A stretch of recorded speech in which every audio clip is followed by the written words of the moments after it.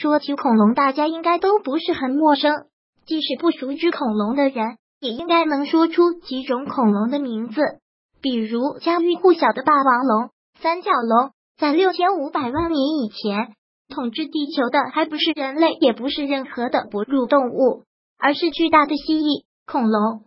根据现在的化石发现，恐龙出现于两亿四千万年以前，灭绝于六千五百万年以前。当然，这个年限还有可能更加的长，也就是说，恐龙至少统治了地球一亿七千万年。这使得我们不禁疑惑：仅仅在地球存在三百万年的人类。就已经产生了智慧文明。为什么统治地球一亿七千万年的恐龙没有进化成智慧生物呢？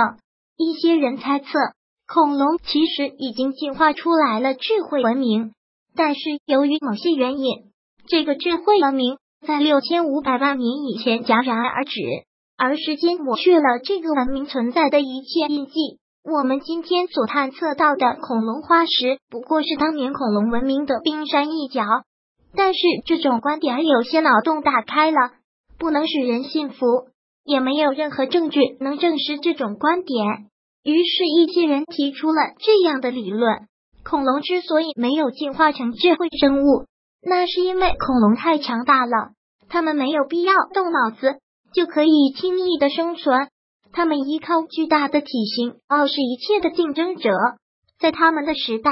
恐龙是没有任何一种物种可以撼动的。而我们之所以进化成了智慧生物，那是因为我们的祖先太弱小了，与我们祖先同时代的竞争者太过强大，我们祖先的体质不如那些强大的竞争者，